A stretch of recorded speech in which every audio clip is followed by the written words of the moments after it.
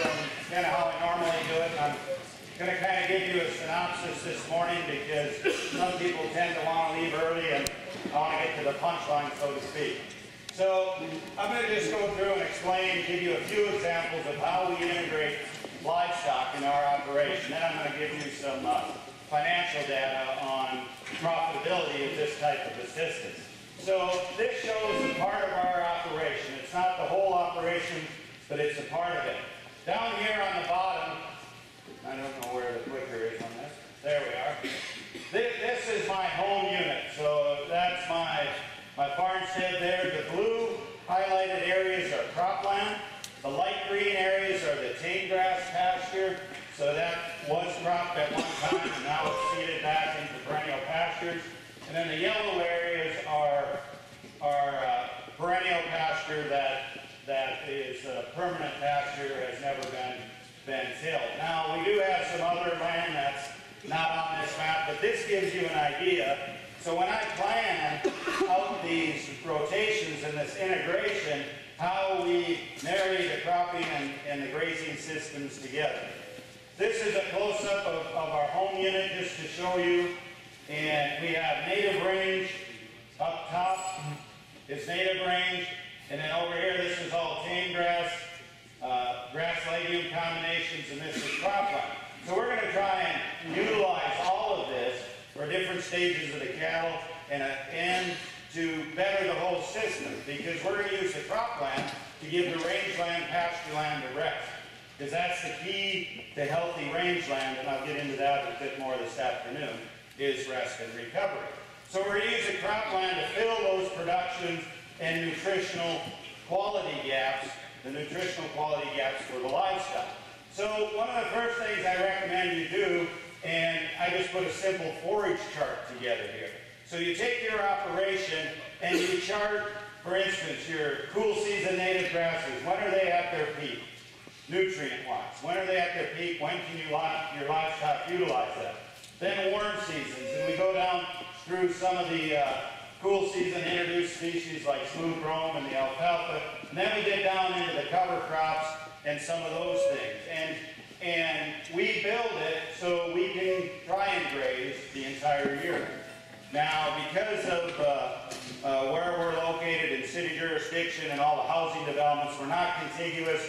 Uh, we haven't been able to make it the whole year without grazing, uh, without feeding some hay but we're, get, we're getting close. So I strongly suggest you put a simple chart like this together for your operation and use it. Now, how many of you use a refractometer, measure Brix? Good, there's several in here. Uh, I'll just explain this briefly. In the upper right, that's a refractometer. Refractometer measures percent solids in liquid. And the lower right, that's a garlic press. That's what you use to squeeze the sap or the juice out of the plant. And then the lower left here, that's the scale that Brix is measured from 0 to 30.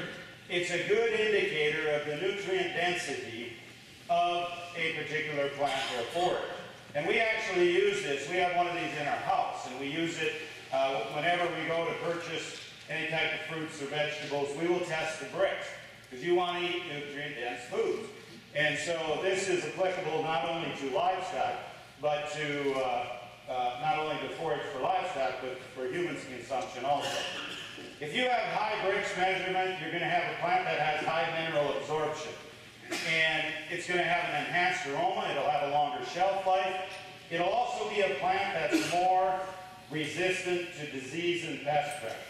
And we're seeing this. There's no magic number, but generally speaking, when you get 10 to 12 Brix and higher, it's pretty seldom that plant is going to be succumb to either disease or pest pressure. So as we build healthy soil, we're able to increase our Brix. Then we have healthier plants. We no longer have the disease and pest problems with them. Okay, you'll also see in higher Brix plants a much wider leaf. You'll just notice that the plants are healthier. So when we're putting up forage, we'll actually go out and do a Brix reading before we put the forage up. And generally speaking, your Brix will rise during the day as that plant is collecting more sunlight through photosynthesis. It has the highest energy a little later in the day. So we, we never start, uh, we never cut hay in the morning. It's always from mid-afternoon on, and we use Brix to determine when to cut the hay, because we want that hay to have the highest nutritional density that it can. We also, this photo here depicts, that's all housing developments around to the north. What I've been doing the last 10 years is, as the city of Bismarck expands, the city of Bismarck is the fastest growing metropolitan city in the country between 50,000 and 100,000 people. So I know these acres close to town are going to go to housing. I'll rent them and export as many nutrient, those nutrients as I can onto my land, rather than put up hay on my own land. Knowing that sooner or later the landlord's going to uh, sell it for development, but if I can if I can hay it for three or five years or more, why not do that? So, some of the forages we use, I mentioned the tame grass legume pastures. For instance, alfalfa smooth brome, that's a combination we have. And I usually, I'm just listing a couple of the major components of those paddocks. I don't like grazing paddocks with only two species in them. And you can see there's several other species in that mix. We can easily get gains of over two and a quarter pounds a day, and our Brix level is 22 high or higher, you know, at, at the peak time of the year. Now, it's not always going to be like that. Right away in the spring when it's lush and growing, Brix will be a little lower, and then they'll tend to get higher as those plants get a little, uh, little further along in development. And we will go in typically with, with stockers or grass finishers, and we will use uh, fairly high stock densities on on these pastures. Uh, usually around 500,000 to 750,000 pounds of animal live weight per acre. That's pretty common on our operation. Not with cow-calf pairs, but with stockers. I'll talk about grass finishers in a bit. And we really like to just eat one-third, leave two-thirds, because in a biologically active soil, you need to leave that armor that we preached about yesterday. So eat one-third, leave two-thirds. Here's another paddock. This is a very diverse legume. There's about five different kinds of legumes in there. And I should explain what I actually did. I'll go back to a few photos here. On this paddock, this land out west, this was all west of my place. This was all crop when I first bought the place. And I wanted some tame grass pastures. And NRCS recommended well seed, smooth brome grass intermediate, and best in wheatgrass. So we did that. Got a beautiful catch. Terrible, terribly unhealthy standing grass. Because that land had been tilled and cropped for so many years. I had no infiltration, I had no nutrient cycling, so I had a poor standing grass. Now, I wish I would have known then what I know now. Now when we go to seed land back to perennials, we jumpstart, so to speak, the soil health on that. We'll see at least two years of very diverse cover crop mixes on that cropland graze it off with livestock to convert that to dollars, but we're priming the soil. We're accelerating biological time because we'll use 25 different species each year to get as much different biology going in that soil as we can. We have all those dying, decaying roots. We jumpstart infiltration. So I hadn't done that here. So then what I did, you know, it was just poorly, poor production, and after about four years I said, this just isn't working. I went to my extension agent, what can I do? He said, well, fertilize it. I said, no, that ain't gonna happen. So I went on my own and I seeded a different legume in every one of these. I researched what I could, what legumes would work in my area. No one had really done much of that, so I, I went and I just started buying seed. I went out there with my no-till drill and seeded a different legume in each one. Now that I know which legumes work in our area, now whenever I seed, I use those species and I seed very diverse mixes, you know, so I don't put just one legume in each uh, paddock.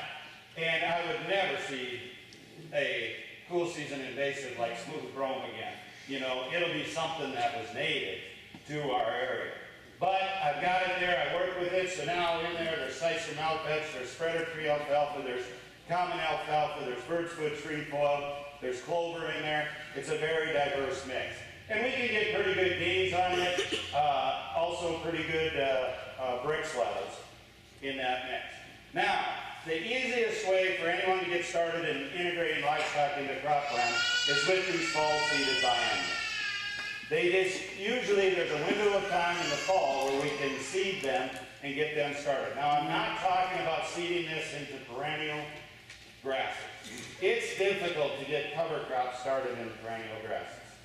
So experiment with that as you, as you want. I'm talking about seeding these on cropland. This photo was actually taken on October 8th of this past year. We were really dry, and I had seeded this a bit earlier, but we finally caught a shower there the first week in October, and it germinated. So that, that's winter triticale hairy vetch coming up through a cover crop residue. We had grazed that cover crop uh, the month before, high stock density with a bunch of grass finishers. And that shows that triticale vetch coming up through that. Here's another mix we, we've used, forage winter wheat, winter pea, hairy vetch, and radish. Now, we have not had great luck with the winter pea in our area, getting it over winter. So I put it in the mix here. It germinated to come up, but we just haven't had great luck getting it over winter. Hairy vetch has never winter killed for me. We've been seeding it well over 20 years, and I've never lost it. This forage winter wheat, uh, we've seeded that now two years. Cattle seem to really like it. They, they relish the taste of it a lot better than rye or triticale, which makes sense. Now the radish comment. Um, we put radishes into these mixes, even though they're going to winter kill. They're only going to get a few inches tall, but that taproot will still go down several feet. Steve Groff with Cover Crop Solutions has done some studies that show if you add radish to a winter wheat crop or a fall seeded biennial, about a five to seven bushel increase in yield, even though it's going to terminate over winter. It scavenges enough nitrogen, releases it in the spring, they're getting a yield bump. So we put it in there for the reason of cycling nutrients and to uh, let release those the next year. Also helps some with infiltration, obviously. Brix levels on our winter cereals, they're not quite as hot. Uh, 16, but we can still get good gains off of it. Here's winter triticale, hairy vetch, about the same thing. You know, as far as, as far as nutrient density. Now we can graze these in a multitude of ways. You know, we can graze them with stockers, we can graze them with calves, and I'm going to show you all the different combinations here we have for a fall seeded biennial. Okay, that's one. We can graze them early to get gain on livestock. Here's another one, but we only use this in an emergency. Wool hay. I know that, that windrow there doesn't look like it was an emergency situation, but, but that's actually seeded. There's no synthetic fertility on that at all, and, and no herbicides whatsoever. That was seeded into a alfalfa hayland field that was getting old, that stand, we went in there in the fall and seeded directly into that. And that's what we got. Remember the photos I showed yesterday of that plot work where the radishes and turnips were dried up and then the multi-species was, was uh, thriving, triple the biomass? This field here is exactly one mile north of that. And this is the same year. I'll tell you a story about this. I seeded this in the fall. It laid for three weeks. We caught a half inch of rain on it and it germinated. Very open during the winter, as I said, not a lot of snow. It did have some snow, so there was some moisture there. Then that same inch that that clock got, I got on that field. So that crop there was from an inch and a half of rain plus some snowfall. Now I'll tell you a true story about that. Right after this picture was taken, one night I had a phone call. And the guy on the other end said, is that your, he didn't know my name, he just asked, is that your hay there on the north side of the interstate? And I thought he was going to ask, how did you get it? You know, How did you get that many bales in the drought? Instead, he said to me, you need to get those bales off there, because if you don't, we're not going to get disaster insurance. I just hung up. I, I hung up the phone. I thought, if you're going to wait by the mailbox for a check rather than learn how to do practices such as this, I have no time for it. But that's a true story. So it's kind of ironic. I happened to take that picture the same time that plot work was going on down there, and that shows what can be done in a very dry climate, very dry year. So that's another option. Here's another option. You can let the fall biennials go and combine. And, and I tell you, I have made some good money selling uh, seed from these fall biennials. You know, so it's options. Every year we try to put two to 400 acres in these fall biennials because they leave me so many options of what I can do with it. Here's another option, and we really like this one. We like calving out on. Works extremely well for us. We used to calve in the middle of winter, now we start calving May 15th. We calve from May 15th to late June. Turn the, you know, the cows, uh, we weed typically are last week in March, around April 1st. Turn those cows out, this winter triticale starts greening up late April and that, and they just blow up like ticks. You know, they get fatter than a pig on it. And we're moving them every few days. They get turned onto, onto a fresh allotment. We're not, when we're calving, we're not using high stock density because we want them to be able to go off a little ways and have their calf. We don't set up a back fence when we're grazing this, you know. We'll let them go back, get their calves, and then we'll, we'll move a back fence further back, you know, so they have several days allotment at a time. Calves on it are extremely healthy. You know, we, we check our cows once a day simply to, uh, simply to tag and band them. And the only reason we're tagging them, we don't have our cattle yet where we want them for our operation. So we want to know um, uh, who the, the dams are. I can honestly say this, we've been doing this now about going on seven years. In that time frame, we calve 350 head a year. I have not seen a calf born in seven years. My son's seen one. We've lost one cow. We calve the heifers right up with the cows. Absolutely not an issue. Do we lose calves? Sure we lose a few. But we lose a lot less now than we used to lose calving in the corral in the winter. It's absolutely amazing to us. It just simply works. Now I'm going to preface the next picture a little bit. My son in college, a lot of his buddies, you know, they're talking about things, and most of his friends are calving there during the middle of winter. And back here, four and five years ago, we had a couple of years in a row, 120 plus inches of snow, pretty rough winters, and they were they were calling them saying, man, this, this sucks. We're losing calves, scouring calves, frozen calves, mud. Paul said, well, I feel for you. I'll send you a picture when I'm calving. so, so that's kind of how calving goes on our operation. And, and it really is that enjoyable. The first year we made the switch, I told my wife, I feel guilty. I should have to pay somebody to enjoy much. Because it just doesn't feel right after after uh, 26 years of calving in the middle of winter. It, it really has made a difference. But that's a really good use for, for that fall biennial. Now, in the winter of 2006, I went, I was speaking at a conference in Brandon, Manitoba, and I had a guy come up to me right after I was done talking, and he said, you got to see what I'm doing. And it was Neil Dennis. And I'll never forget, we sat up till 3 in the morning looking at photos on each other's computer, and I thought I was doing the right thing, high stock density, but I wasn't near as high as Neil. And, and I was moving them once a day, and Neil was moving multiple moves per day. Well, Neil invited me up there the spring of 07, and I went and I looked at a million pounds of beef live weight on an acre. And then I looked at his soil, and I saw what was happening. You know, he's putting real small paddocks, moving them multiple moves per day, he uses Batt-Latches. Those are little solar powered gate openers. Uh, that's a bungee cord there. You just punch the time and the day you want that little dial to turn. Opens up. So he only has to go out there once a day, roll up the fences, set the new ones. Well, after looking at his soils, I saw that there was no doubt he was building more carbon quicker than I was on my rangeland. And I understood it for rangeland, but on the way home, I got thinking about it, and it dawned on me that was the missing link, one of the missing links, in my cropland. Because look at how our prairie soils were formed. Large herds, bison, elk, we talked about this moving across. If I want to bring my cropland up to where, you know, it used to be, and, and regenerate it, I need to integrate livestock on it. So now that's what we've started to do, is to integrate high stock density grazing on the cropland. So this photo here, that's winter triticale hairy vetch. Now obviously, for maximum gain on the livestock, you're not going to let it get that mature.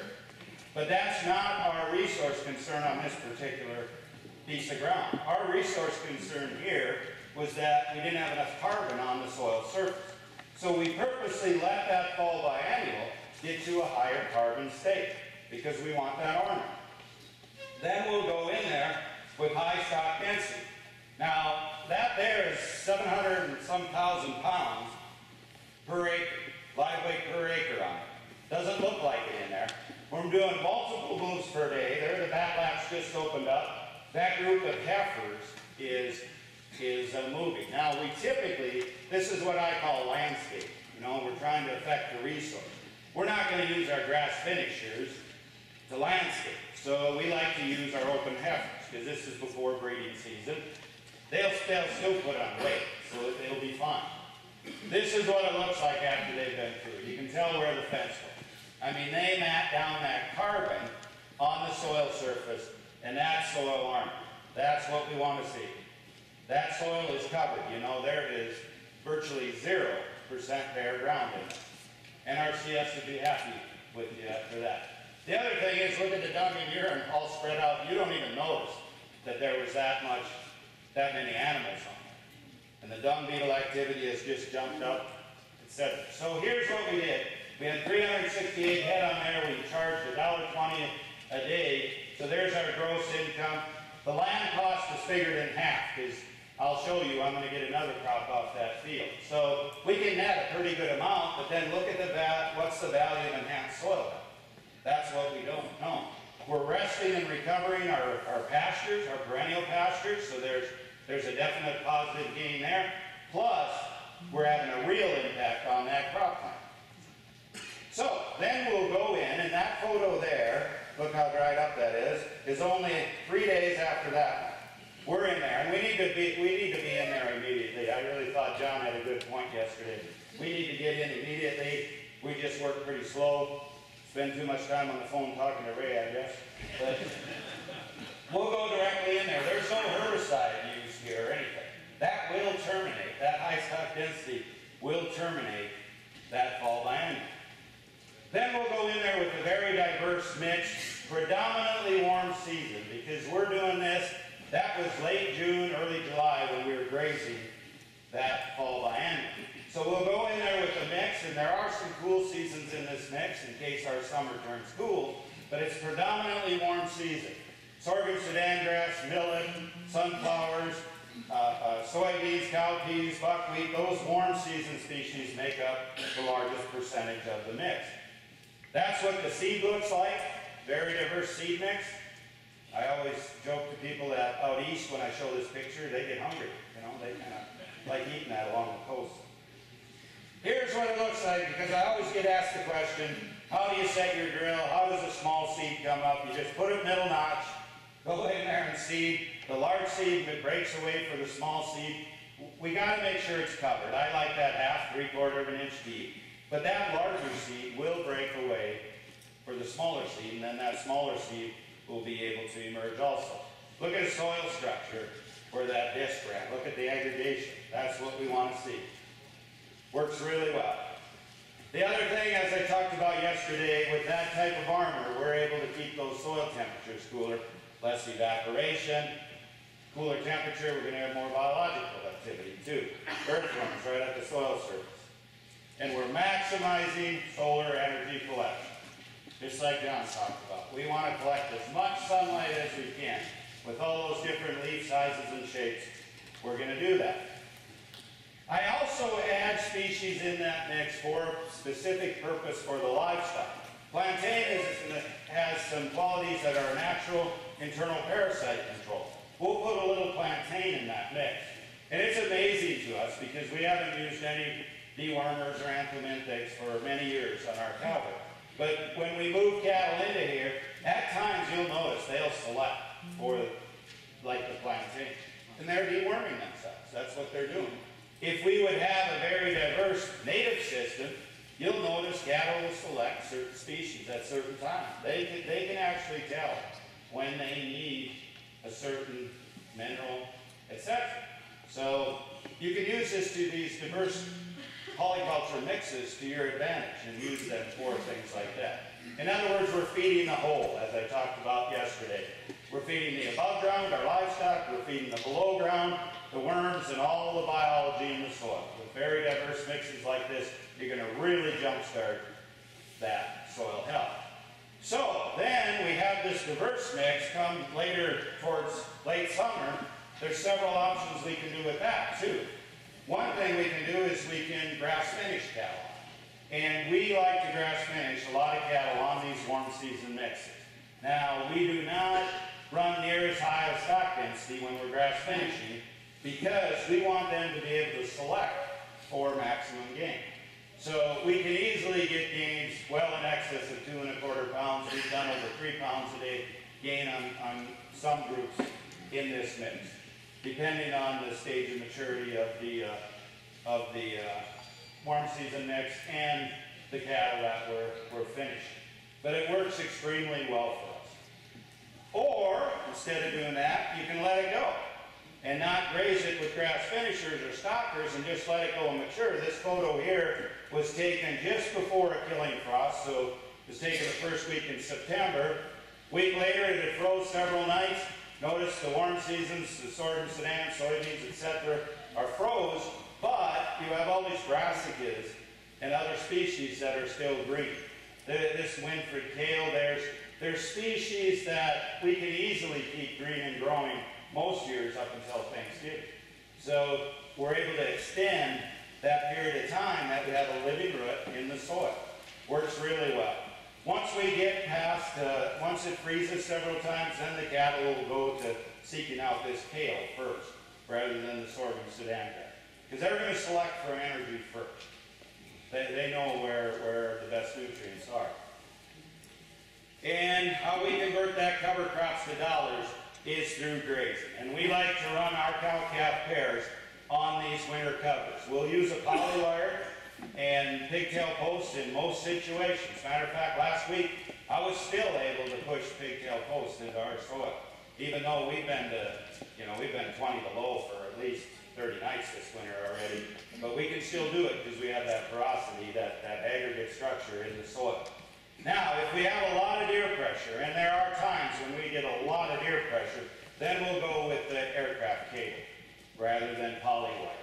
Um, those winters I talked about when we had 120 plus inches of snow, that quarter of cropland on my home section, uh, the Game and Fish Department flew over and they sent me the photos, 876 deer on that one quarter. The deer traveled over 50 miles. They had some of them colored to find those cover crops.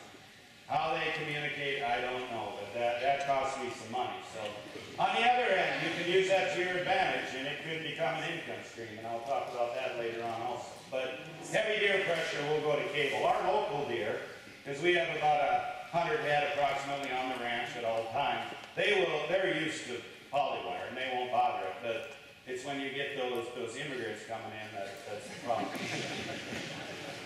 During the winter, we typically move cattle about twice a week when we're grazing these covers. It, will vary and depend. That shows uh, there's 350 cow-calf pairs out there they're grazing, and we'll move them about twice a week across this cover crop field. They'll select, they'll select for energy the first day, and then, you know, each day it gets a little less the nutrient quality that they're getting, but that's the beauty of a rumen, you know, they can have a good protein, then go through a few days of poor, poor protein, and it's fine. Their rumen will be able to, to balance that out. Now, North Dakota State University did some good studies. They tested these, these uh, cover crop species prior to a killing frost and tested them again in late November, early December, which up our way, that, that's winter. And here's what they found. Radish is about 14, and this is the winter numbers I have up here. Radish, 14% crude protein, 70% TDN. Now I tell you, if, if you're putting brassicas in for forage, go with the terms. You know, if you're putting brassicas in to address soil health, go with the radish. Be protected. So you got to determine which which fits your, your needs there. Hairy vetch, I just really like hairy vetch. 18% crude protein still late November, early December. That'll balance any needs. Now you understand why I plant hairy vetch as my corn? Think of all these cows here grazing corn stalks in this area. If that corn stalks had vetch growing in with it, you wouldn't have to worry about supplementing any protein. It'd be supplement. Works really well, and they, and they readily eat it. Never had an animal bloat on hairy. Now, to, to my knowledge, it doesn't happen. You read a few things in, in uh, magazines saying that the seed is toxic. I have yet to kill one. And the only research I found once was there was two horses in Brazil at that. So that's fine. North American horses are a little tough. millet is one thing that if I'm going to graze this cover during the winter, I don't put a whole lot of millet in there because millet loses nutritional quality rapidly.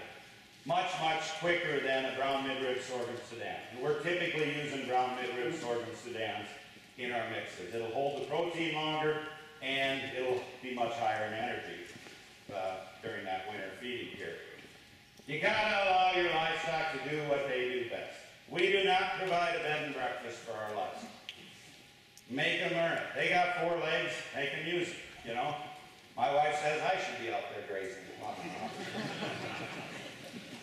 that photo there, that's not a herd of muskox. That's 350 cow-calf pairs, 46 below zero wind Humane Society may not like it, but I haven't had one of those cattle complain yet. You know? They do just fine. They tend to adapt. Now, in saying that, those cattle, if they want, it's only a mile back to shelter. They can walk back if they want, but if they want to eat, they're going to have to walk back up. So they do, and they adapt. You have to learn, the best thing you can do when you start this is go on vacation. And just don't let the cows learn to be cows. And I will tell you, you know, we, we were in a registered business 26 years selling seed stock. When we switched to this type of production model, we had a large, large fall. And I'll talk about that. The cow herd in this country today is not conducive to this type of management. Here's the economics then from grazing those covers. We got 114 grazing days per acre. We want to leave a lot of residue. There is the economics. We, we netted $120 from the winter grazing, but then remember we had netted 350 from grazing our fall biennials. So that's about a $477 per acre net. I can live with that, you know? That, that's pretty decent. We, we don't mind that. Now, we could and have many, many times gotten a lot higher production off of uh, those winter grazed foragers. But this is what we got the year we put this together, so that's what I'll run. So you see all the different options for a fall-seeded biennial. You're only limited by your imagination, you know, and that's why I like, like I said, two to 400 acres a year, because I can go with the flow. Whatever happens, we can roll with it. It's our insurance policy, more or less. Now another thing we can do is go in with the cool season mix. I call this the cool season primer. Early in the year, say we didn't get all of our fall biennials in and we think we need some early spring grazing, we'll go in very early, as soon as we can get in there, with a, now there's a lot more species than this in the mix, but these are the main ones. Uh, uh, forage oat, forage pea, brassica, which is usually some type of hybrid grazing brassica, and then clover. We'll go in there, very good gains. And when I'm talking to gains on this, I'm talking on stock cattle, okay? High Brix content. That's, that's what was in that particular mix. That's spring triticale, not winter triticale in there. Sugar beets, notice they're on here. I found the sugar beets really don't like competition. So you need to put them in mixes that are not as diverse. But they are high in energy and cattle really relish it. So we'll go in there and then we'll mob graze those also. Now realize we're only doing this grazing on about 10 to 20% of our cropland okay? We still got all the rest as cash crops. But this is how we integrate it in, and then we change up, rotate around the farm each year. And as I discussed yesterday, that grazing then stimulates that plant to send off root exudates, slough roots. We, we were damaged, we got to regrow, as you saw with the scum test up here. Sloughing off all those nutrients then, attracts that biology, the plant starts to regrow, you improve soil health take a moment here to show you that, you know, you might think that all we do is move cattle. No. Every, every summer, my son and I go fishing in Canada for a week. Those cattle, they don't get moved, you know. We'll set a, a one or two moves up for the whole week, and my wife will open the gate. But that's it. You know, it's quality of life on our operation also. So I wanted to throw that picture in there uh, just to make sure I made the point. So after we graze that 4-HP oat mix, that's the residue that's left. Okay? Then we go in there again. Continue regeneration. Now, obviously, if you were just in a grazing, total grazing program, don't go seeding all these annuals. You're way better off with perennials.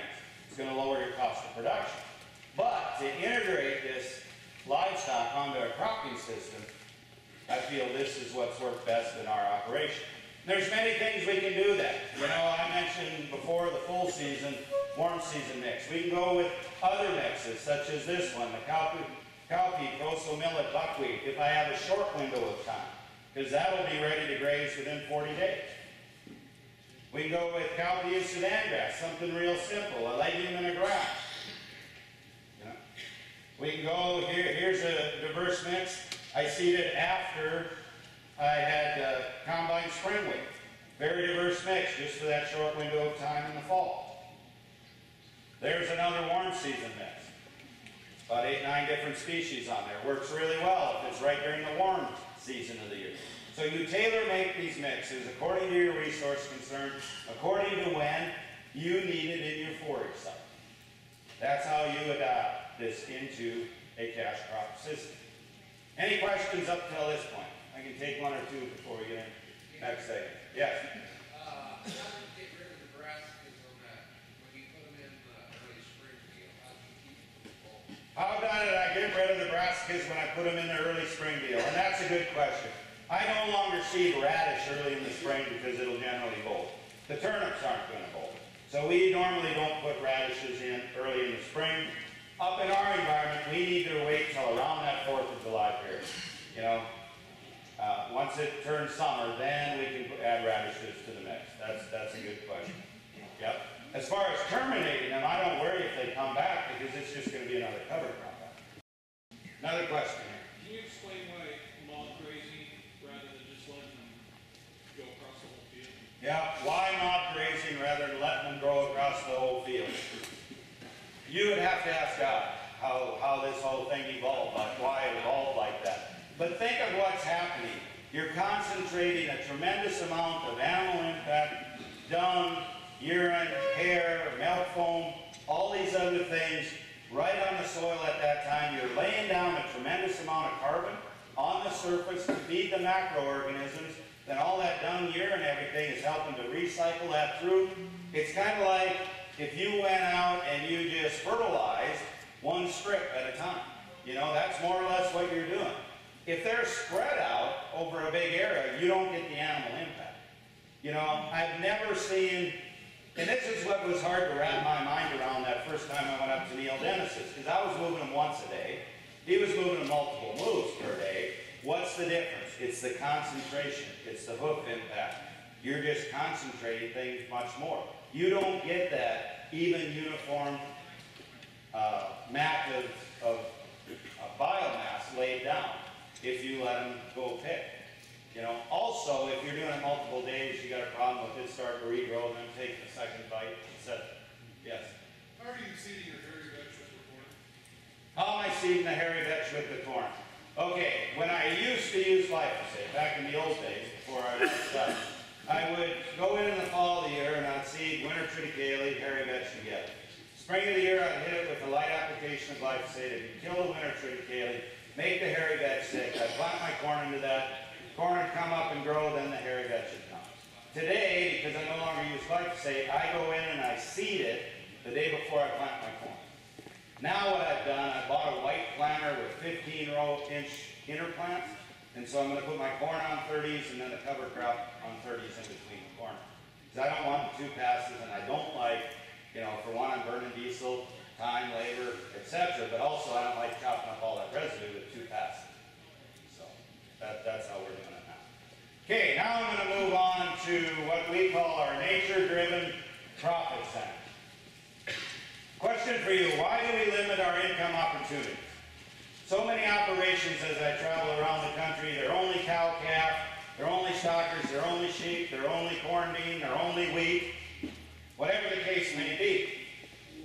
Then you're only making money when that commodity is at the highest price. Or if you're a least cost producer, you can make money every year, but it really is tight many years. It's a typical scenario, a little hard to see, but you start with soil, you're grain or livestock producer or both.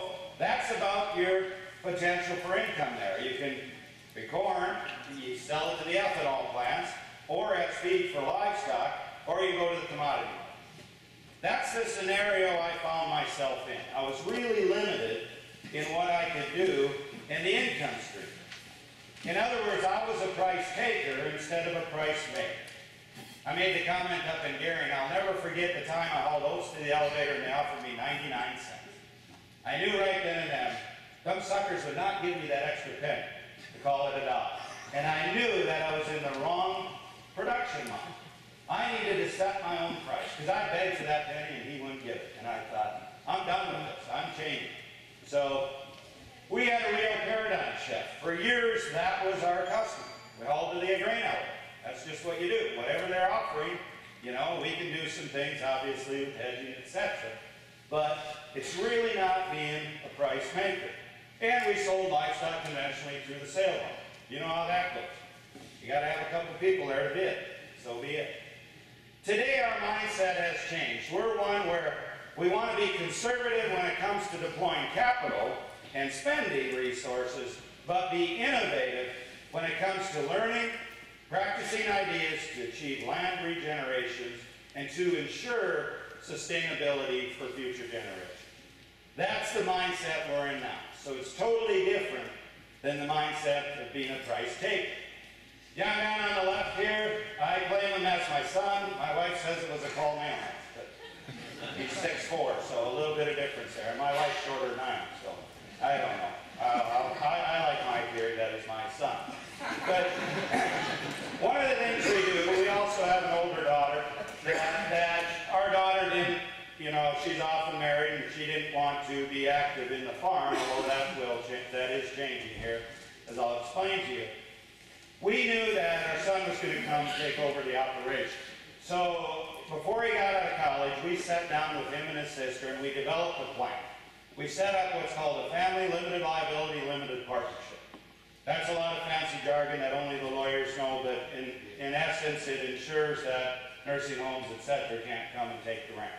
So my wife and I own that, and we set up a transition plan that every year Paul is on the operation, we transition 5% of it to him. So at the end of 20 years, the ranch is in that, it's still in the FLLP, but he'll have all the stock of it down the road. And we're retired, okay? It's simple, easy transition plan. If our daughter would have wanted to be a part, we could transition part of it to her. Plain and simple, you know? And then we have some other caveats in there, can't be sold outside the family, etc. But that's set up in the FLLP. Very simple. Also separates, you know, Paul's got his own money, we got our own money, the FLLP runs the business. Allows us a lot of flexibility for tax uh, purposes also. I made the challenge to Paul before he come back. I said, the ranch will be yours if you show the ambition, work hard enough, but you have to bring something to the operation. So I offered him this. I said, I'll tell you what, any new enterprise you start, you can have 100% of the in, net income from that enterprise. But you're not going to come and just live off mom and dad's check. That isn't going to happen. So we decided we wanted to direct market. We've been really focused on soil health, taking this soil health to human health. So we set up a limited liability company that we call Brown's Marketing LLC. Now the ranch, the FLLP, sells the animals to the LLC, then the LLC processes and direct markets. Also, if we have any problems, somebody doesn't cook some poultry or whatever enough, they, you know, legally, the LLC is what they can come after. Because we're not tied to that, okay? We set that up purposely so Paul is the majority owner because I want to teach him how to manage and run a business. So he's 60% owner, my wife and I each 20. So I'm gonna I'm gonna switch gears just for a moment because I needed a place to get this part into the story. But I needed to show you how we were set up as you'll see coming up when we get into income and expense and profit centers how it all uh, how it all shakes up. Now for years, uh, one year we Jay and I were sitting around and, and we were trying to figure out because in North Dakota it's the third largest potato growing state I believe, and I had a group of potato growers come and tour. Yeah, but you can't grow no-till potatoes.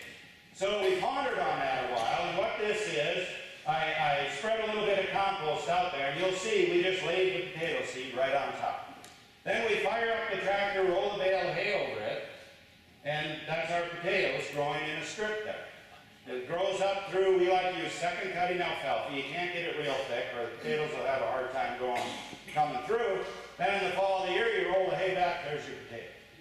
You can do no-till potatoes, see? Moral of the story is don't challenge us, we'll figure it out, you know?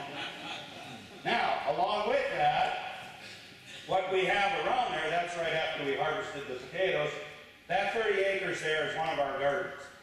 I'll show you how we do that. There's David Brandt in Ohio, Gail Fuller in Kansas, and myself. We got a little bet going on to see who can do the craziest thing each year. Well, I had dawned on me one winter. I knew I'd get it. I thought, what really is a garden? You know, it ticks me off. We have this no-till garden behind the house and these nice neat rows, and I don't like it because it's not nature. Nature doesn't seed things in neat rows. So I took I took 30 species of garden vegetables. I took 20 species of annual flowers, 20 species of cover crops, put them in the drill, plugged every other row, and seeded 38. And that's what it looked like. It was absolutely beautiful. Wife asked, what do you want for supper? Whatever I tripped over, that's what we were eating. but we had flowering species in there, you know, to attract the pollinators.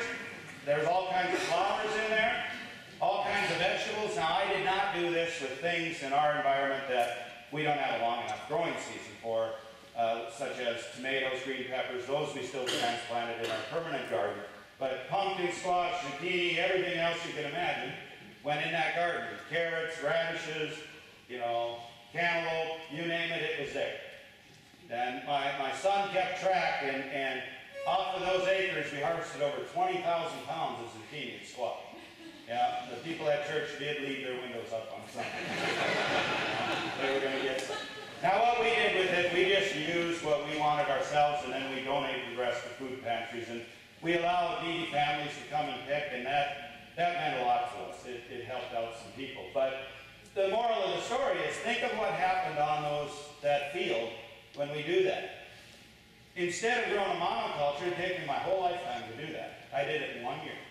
I primed that soil. I fed it. Now, I will say this much. We're in a dry environment. Last year, we were really dry all summer. You know, 38 one hundredths of an inch all summer. It didn't work very good, in the garden. But so be it. You know, I out some garden seeds some time. They still grew, and then we grazed it. So we got, you know, back most of our seed income. We try and grow almost everything we eat on our place. And, you know, this just shows one day our daughter comes from uh, Fargo, drives over, and we spend the whole day as a family canning. Works out real well. It's, it's a good family activity. What else are we going to do? That's in the evening, right? That's at night we do those things, okay? Now I'm going to talk a little bit about our grass-finished beef. As I said, I was a conventional producer for years.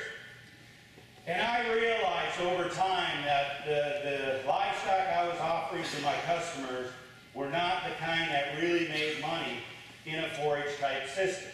I own this newspaper from 1888. That, that's on the cover. Man, I wish I could find genetics like that today. There's an 1882 newspaper with an Aberdeen cow on it. You look at what happened. This is the livestock we see today. Took this photo. Here's another one. You know, that one was just in the in the paper not too long ago. Are these last two animals, are they conducive to converting forage to red meat? Not at all. Here's the genetics that we're trying to propagate on our operation. We need genetics that will convert forage in our environment. And our environment's going to be different than your environment. Only you can find out. I tell people I want cows that look just like me. Short, thick, easy flesh. That's what I want. And they got to have a big middle. If they don't have a big middle, they can't win around a rock. You know, and I tell people that's what I want. We expect our cows to perform on our forage. Then why, as an industry, do we breed everything to perform in the feedlot? You know? And they're converting grain. I'll tell you this much. We've harvested a lot of cattle. I have yet to find a gizzard in there. Haven't found it. Then, why, then why are we breeding our cattle to convert starch? Doesn't make sense. So it's been a real learning curve for us, and like I said, we had a huge fall fallout when we made the conversion, but now it's working well. We still have a ways to go. Cow size matters. When you're grass finishes, steers are gonna finish approximately hundred pounds heavier than the dam, heifers approximately hundred pounds lighter. I can pick up any local ag periodical in our, in our state, the average cow weight's easily over fifteen hundred pounds, easily in North Dakota.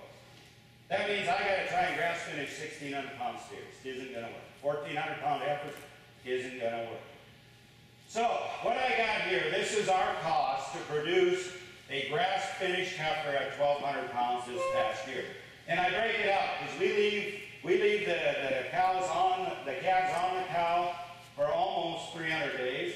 And then they're fence line weaned, there's only a short period of time when those calves then are bale grazing, then they go out on that grazing NAT is native forage. They're grazing native forage.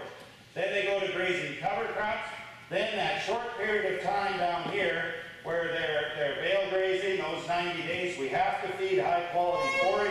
That's why we're taking the Brix measurements, because right there, those calves, they're, they're coming two-year-olds, and we gotta keep them gaining weight.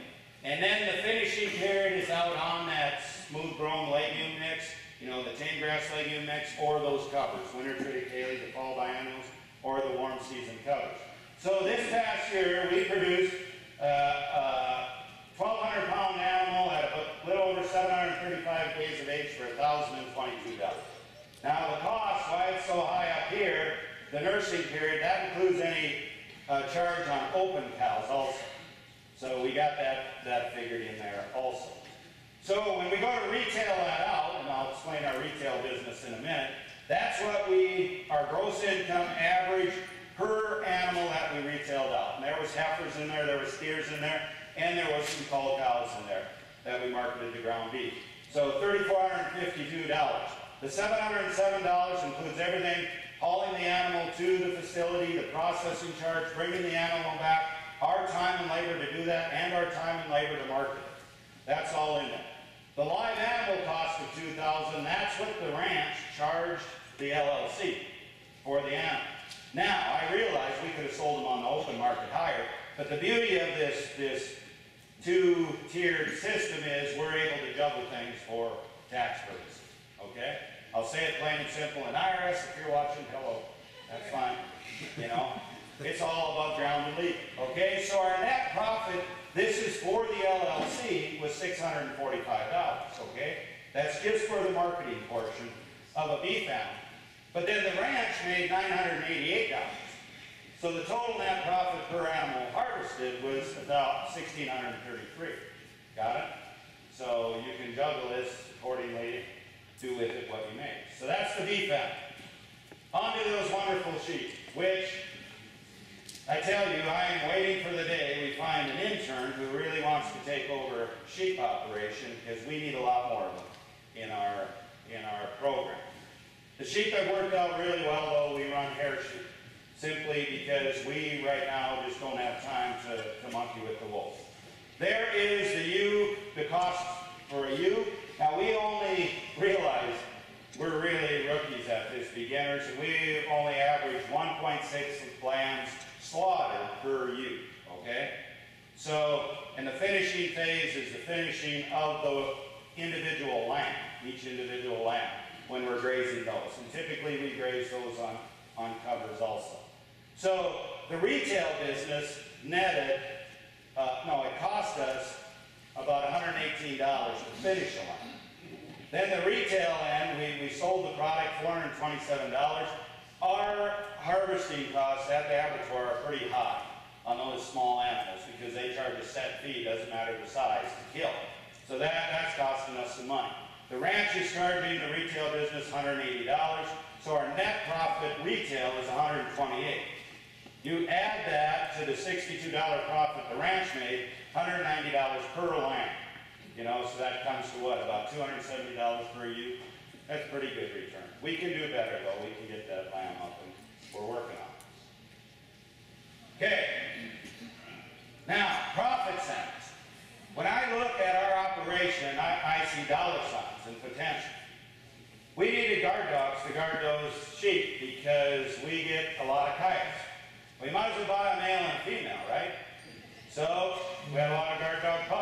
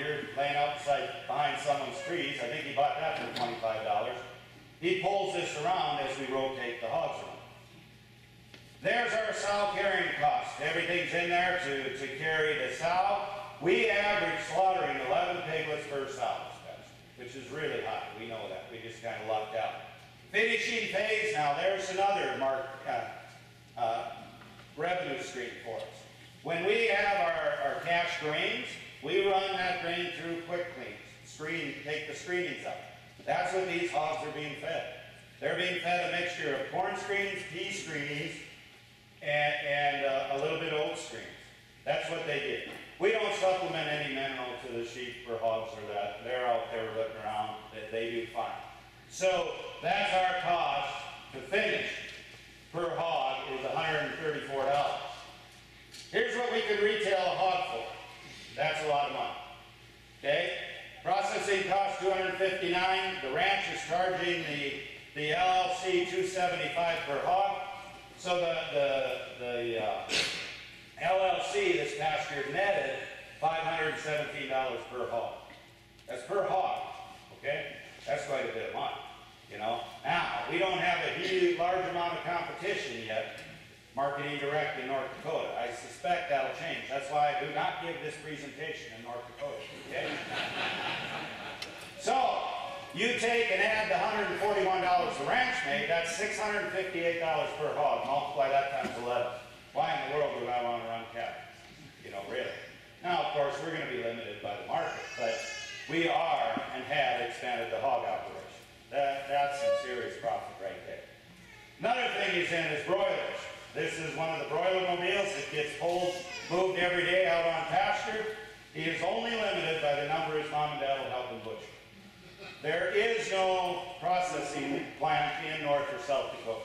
So we're limited to 999 birds is all we can legally process and sell off our place. We cannot sell them at farmer's market. They have to come pick them up legally, okay? There's the first broiler mobile he ever made. That's two gate frames underneath with some PVC pipe attached. Some old tin from a building we tore down. Pretty cheap, pretty simple.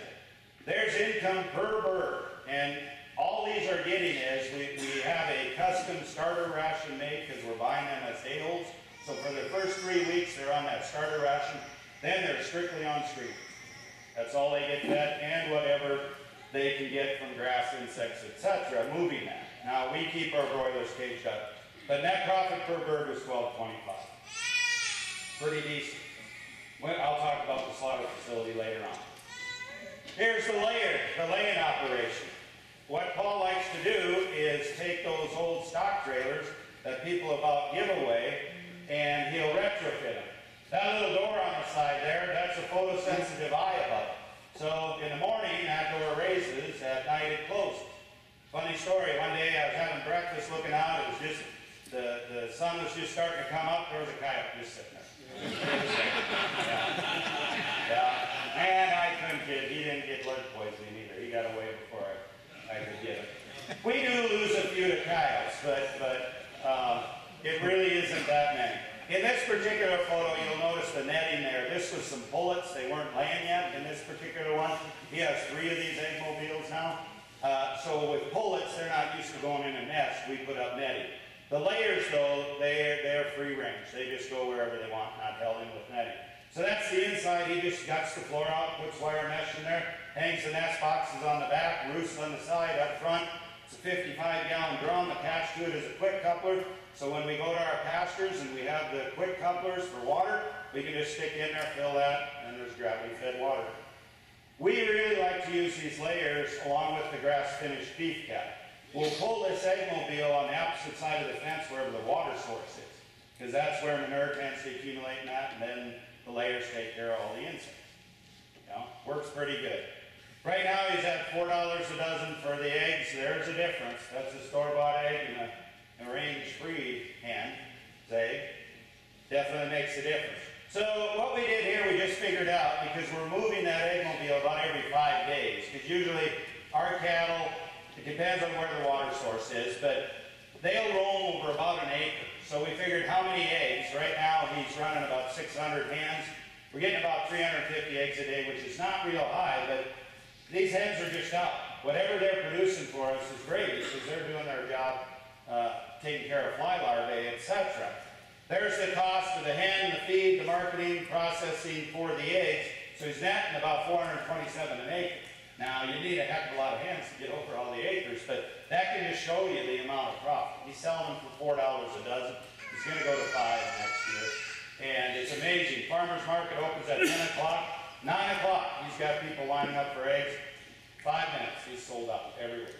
And he, he's only them once a week to market because he just can't be in to supply. Would love to find an intern that wants to take over that part of the operation. So, the question for you, why do we limit our income opportunities? As I said before, why are we only cow-calf, only cash grain? Need to become price makers instead of price takers. Now, one of the things we had to do in order to do this was address our processing gap or need. In North Dakota, there was only three facilities that were state inspected that you could get an animal harvested and then market the product. The waiting list was over a year to get anything harvested. So we had to get together and we had to build a processing facility. So a group of us did in North Dakota. It was a four-year process. It took some time, but we've been open now and it's running. We process bison, beef, lamb, and pork there. And it's working real well. We're actually showing profitability already. This is our ranch's own trademark logo. Nourished by Nature, that's what we call our business. So that Browns LLC has this as a trademark. We then direct market our products, you know, directly to consumers. That's our new customer base. Rather than taking these animals to the sale barn, we're marketing them direct to customers. And I tell you what, there's no better feeling in the world than handing someone a steak, charging them $20 a pound, they pay you for it and thank you.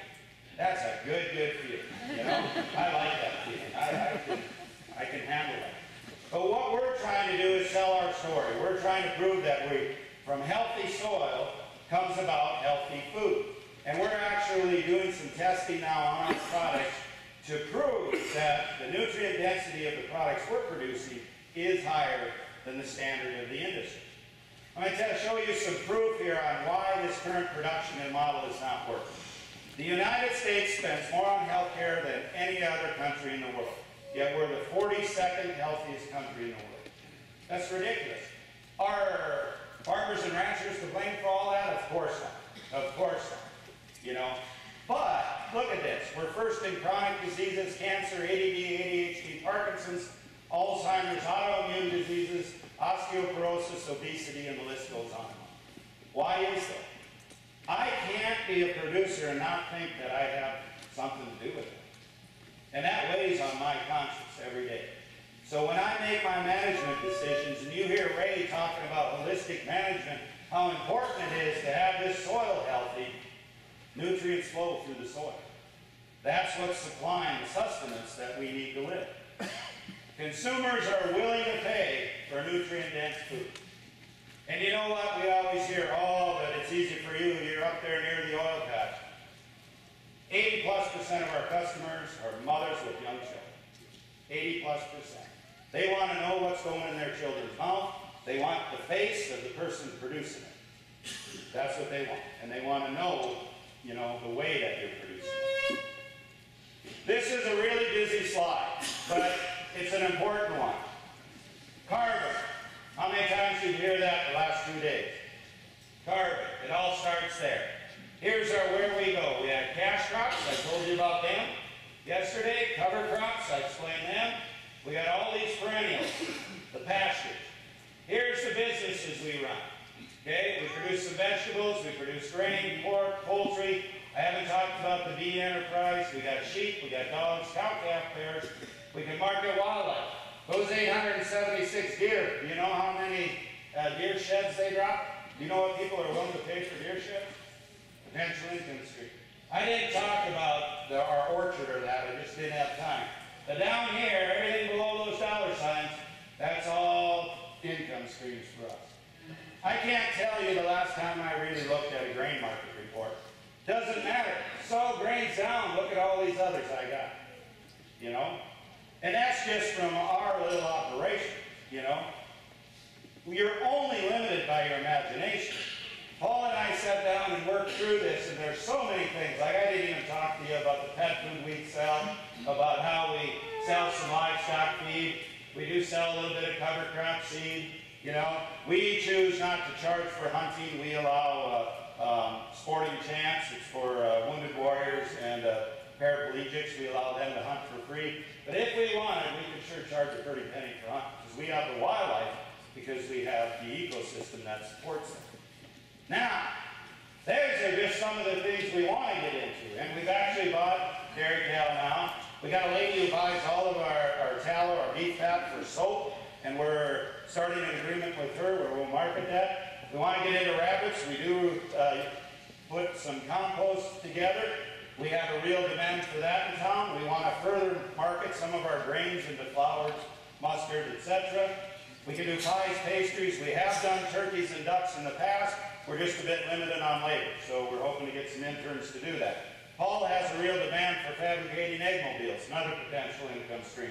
Hide sales, floral arrangements, wool products, if we choose to go down that way, uh, way uh, road with a sheep, you know, if we decide to get some wool sheep. You're only limited by your imagination. I was at a conference here this fall in Missouri, and there was about 160 people in attendance. And it wasn't me, but a speaker asked, he said, how many of you have a son, daughter, or family member coming back to the place? Me and one other person raised our hand. How come that is? That's a travesty. You can't tell me. I get calls every day. We just, we just put out a simple flyer uh, accepting applications for interns. We had over 80 applicants within a month.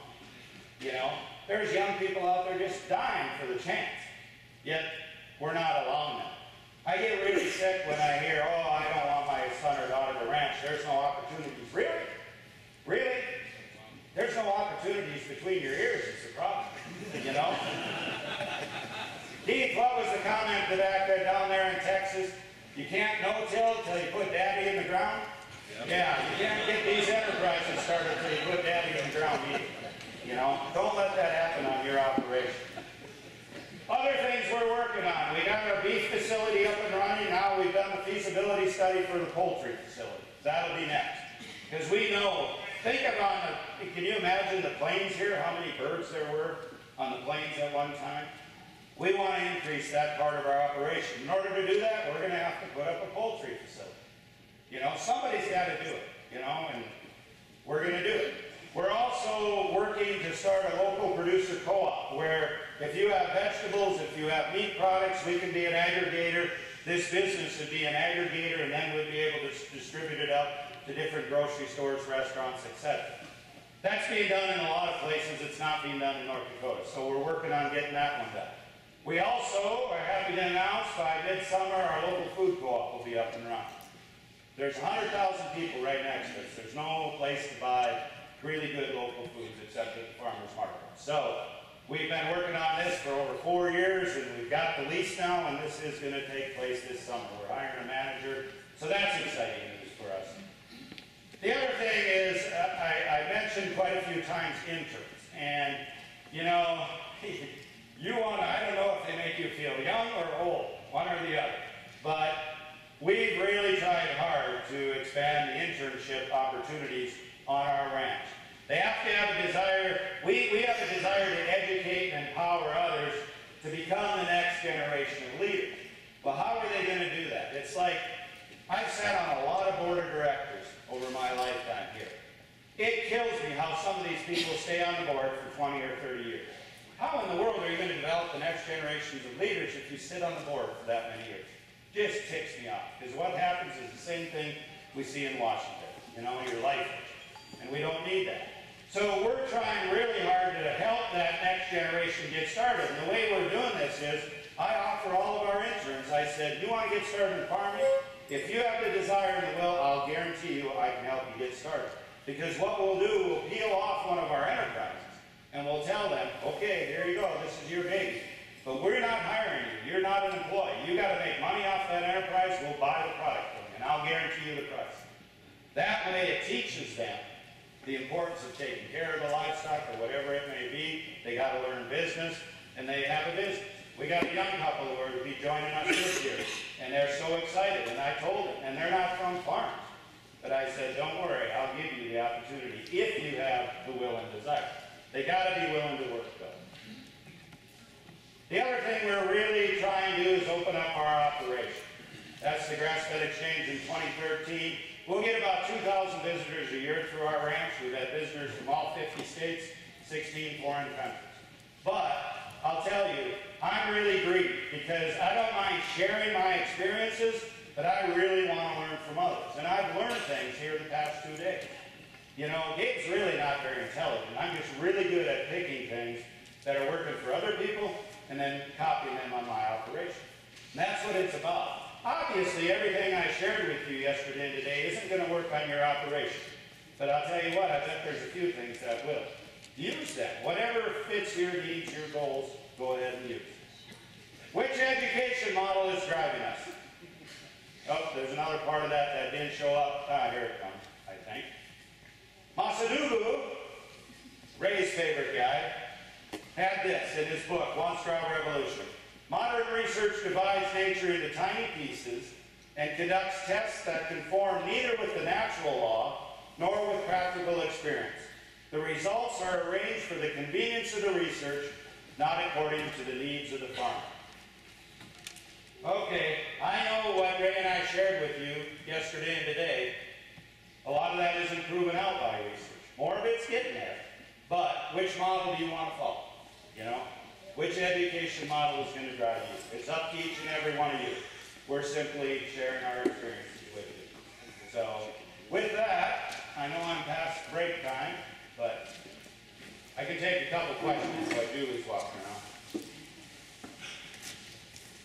Yes, here's one. What do we do with the laying hens in the wintertime? This winter, they're actually in a pole barn because the uh, hoop house that we ordered didn't show up till December. And I was on the road and my son wasn't gonna build it himself in December, but they will be going into hoop house. We actually ordered a portable hoop house, so we're able to move it. Obviously, during the winter, we won't be moving it, but we'll be able to move it then, make compost where they were. We got some plans for that. But yeah, they have to be inside during the winter in our environment. but- Why, why do you nurse your calves for three hundred days? Why nurse the calves for 300 days? Several reasons. I'm lazy, I'm lazy, I'm lazy. That's three of them. But the big reason is, think of it this way. How is that calf going to learn which of those cover crops, which of those native species to eat? How is that calf going to learn that when it feels through barometric pressure a storm coming to walk a mile back to the farmstead so it's not out there in the wind? We use that as the learning, the education. That's college for our calves in other words. And if we expect our heifers to become cows, they gotta go through that, and they gotta learn. Because what we do with our heifers is, we pretty much expose all of our heifers to 30 to 35 days. Those that are bred go in the cow those that aren't fall out. They go in the cow or sold, those that are bred. But we're letting nature do the culling, and that's one way. If we have calves that just can't hack it, you know, and the, the cow comes up open, they're gone, the calf's gone, let nature do the culling. Plain and simple. Yep. Anything else? Yes. How do we water the cows? On summer cover crops, the, the, we have uh, shallow pipelines, and I'll get into that this afternoon, throughout our whole farmland, buried a foot below the soil surface. Everything's watered on it, but, uh, we use permanent tire tanks there, but we're only on there for a short time. They're cheap to buy and install, so that's what we use during the summer on cover. They will have to walk back to that tire tank, but we have a lot of them on our place, and I'll show you that this summer, yes. How about farrowing sows? They're farrowed out in the shelter belts and that. We made a mistake, we only farrowed them once this past year. They got to looking like me, they'll be farrowed twice this next year. But they're farrowed out and we actually use like, they're gonna be farrowing here in, in mid to late April. And, uh, Paul went to a friend of his who has this sporting clay range and they use those calf hutches. Well, there was a few damaged ones that somebody shot up, he got them for free. And he has them out there and then they farrow them. So, works pretty simple. Yep. Well, we better take a break here, huh? Thank you so much, Dave. To.